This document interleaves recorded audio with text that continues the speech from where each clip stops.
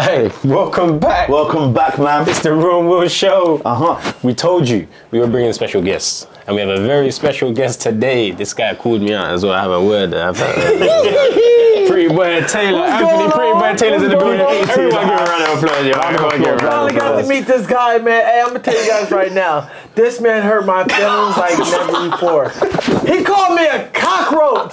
You ain't another black man should never call another man a cockroach. Hey, no, but you know what? Hey, you know, Lee gets carried away on the channel. He let, That's like the lowest of the lows. No, Like, you know what it is, yeah? you was on every show. Misfits. every show. King, was it Kingpin? Uh, Social Showstar, Club? Showstar. Showstar. Showstar, yeah. so, In Dubai, Yep. Wicked and Bad. Tell us your story, bro. How you got into fighting.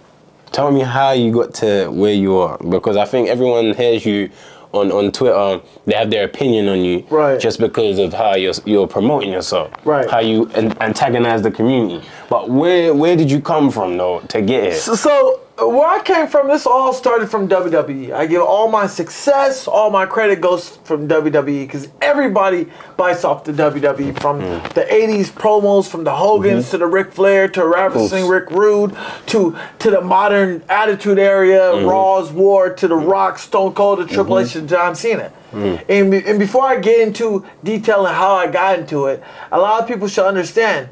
There's five things. You gotta build your brand. You're either the mm-hmm. good guy or you're the bad guy. Yeah. There's not not everybody can be the bad guy and the good guy. Jake Paul, the bad guy. Mm-hmm. KSI, the good guy. Once you build that brand, you mm-hmm. need to put content out.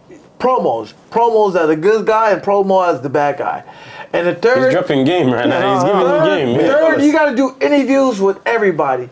Every interview, do it because you never know who's going to be the next Ariel, Ariel Helwani. Mm. When I interviewed with Fred, look how big Fred is now. Fred Beck. Hey. One of the biggest guys. Hey, Leo's now. got his Fred on today. Oh, He you got want red red light. light Red light Fred. Jack, when I interviewed IFL TV when they first Yeah. Mm. came out, look how big they are. In 2021, I called out Jake Paul on Twitter with BJ Flores and the thing. I said, "Hey Jake, stop fighting these motherfuckers and fight a real fighter, MMA fighter." Because remember, the whole 20 was canceled due to COVID. Of course, so of we couldn't do shit. So we wrote into 21 of April, and I said, "Stop fighting these MMA fighters and fight me." in April, BJ Flores calls me, uh, me messages me on Twitter, hey, if you want to fight Jake, come to Miami. Yeah. I said, okay. Y'all, y'all gonna book my ticket? He's like, no, you called him out. Come. So I said, okay. I booked my Yeah, it's true. I booked my f***ing ticket by myself, my hotel, flew my ass over there to f***ing Miami by Hey, myself. He's Nobody. the tea. Raging, bro. You know when you getting the Nobody. tea? This is the tea. He's us the tea. Nobody gave me. n- mm. Nobody said, "Yo, it's, it might be dangerous." And I said, "I don't give a." Kill me, kill me. I said, I flew my ass out there in April. I gave Jake Paul that work. How did, how did you feel in that fight when you was in that fight with Tommy? So I you felt sluggish. Right? 'cause I, I remember you said that he was he's a big guy. He's a big guy. So when the bell went and it began, how did you feel? Well, mentally, I, I was great, bro. It was just physically, my body couldn't keep Mm. Yeah. up because I was in. While I was in the Jake Paul camp, I was getting ready for my MMA fight on uh, Cage Warriors. I was Oh, fighting at okay. 155. So while I was in camp with Jake Paul, I was 160.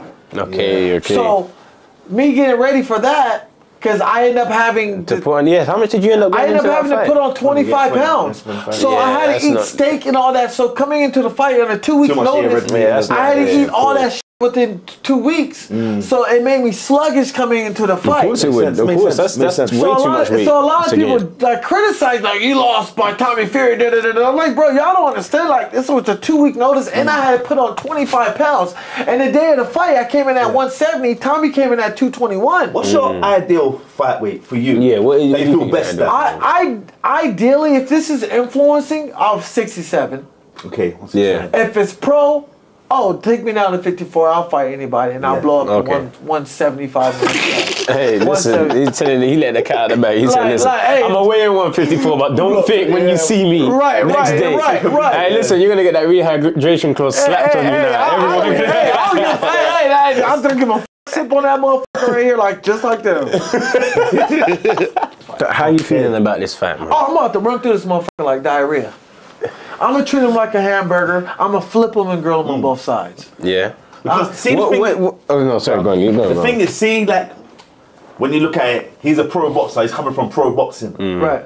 and he's what The 13 traditional fights, world. 12 or 13 fights. Yeah. So to me, it looks like they set you up. they to say, try- yeah, that's what it does Put a look. stop to your training. Right, Yeah. right. To me, I'm, I'm gonna tell him straight up. I'm not here to box. I'm mm. not gonna box you. I'm gonna fight you. Because to me, when I saw the fight, I said, okay, I know Idris uh, Virgo's been training at JJ's gym. Right, right. A lot of the shoot fighters guys. Right. Then I see you, and I was thinking they just want to make you be quiet. Yeah. Because Right. you're so active on the socials. Right, and that's they're what like, they're trying to they're like, if you want to fight anyone, fight him. Right. Yeah. And, and I'm like, well, what the f- does he bring? But I said, ah, y'all mad because I punched Dillon Danis and I didn't know what Of was course, going of on. course, of course. So I said, okay. I said, so Egypt, Egypt was talking shit for a whole year to me about trying to fight me for a whole, well, not, we'll say about six months. Saying I'm ducking him. I was like, hey, bro, ain't nobody ducking you. Because at first I told MVP, Jake Paul, and them, hey, let me fight Idris. They said, no, who the fuck is he? He has no clout. Right. I hit up Global Titan. Global Titan before I fought Jack Fincham. I said eh, they wanted me to fight Aaron Chalmers. They said no. Aaron Chalmers declined it, respectfully declined. He because he had a baby coming up, so I didn't want to shoot him down or nothing. Understandable. So then I brought up Idris Virgo on Global Titans. Yeah. They said no. So you've been hunting him down. right. They said no. He has no clout. I, and I've been kept telling Idris Virgo like, bro, no Listen, one's no one's build trying to fuck up. with He's you. No, right, right. So then he talks all this shit, saying I'm ducking him, but then now we signed the contract. Mm. The motherfucker quiet, Oh yeah, okay. quiet yeah. motherfucker now. So then that's when you see me tweet like, Mm. oh, you quiet now. Ever since you took signed that contract, what happened to all that shit talking now? Mm. You you a different motherfucker now. now that you signed the contract, because I'm gonna give you the same fucking energy out from the beginning. No, we know. No, I know you come No. with that energy. Listen, I want to get some of your predictions yeah, Okay. for the rest of the show. Yes, yes. Uh, let's start off with Slim and Tom Zanetti. So how, how do you feel like that fight? I mean, I mean, uh, to be, if I'm being 100% honest, I'm gonna have to go with Slim because I don't know of Tom Zanetti. Slim has proven himself that he can fight, but what makes it so questionable is why Tom Zanetti? Why why Ryan you- Taylor after he fought? What, what's that's why I say, mm. are they protecting? Excuse me, are they protecting certain fighters? Mm-hmm. Because why is King Kenny? it's a case. It's, a case, it's an open case. Right. Yeah. Why is King Why is King Kenny fighting DK Money Makes no sense. when he fought FaZe Sensei? You're going, you're starting from here. You go from Temper to Sensei to DK Money, You have a you have a case. and it's like you, you have a going on? case. You have a case. Yeah. You do have You a have a case. case. Why Kenny? But then why are you guys calling out Jay Swingler? And this is his first fight. You know. It's Nah, like- J- J- Jay Swingler fought Gib. Well, well, but that's that's like years ago. Yeah, you know yeah, what I'm yeah, saying? that's like, in the let- past. That let is the in the man past. Come on, you know, that's his yeah. first fight in what three years? Yeah, that's true. Kenny, Kenny, you already have three fights already. Active. Yeah. You're active. You Well, you want a piece of Kenny? You want? Would you fight Kenny? Uh, of course, I'll run through Kenny. Even his brother Daly know that. And if his, if his brother, What he's gonna say? I'm pretty gonna see you gonna run from hey, Daly as well. and if Daly wants some smoke, run that next. like I'll fight both guys in the same night. Run that shit.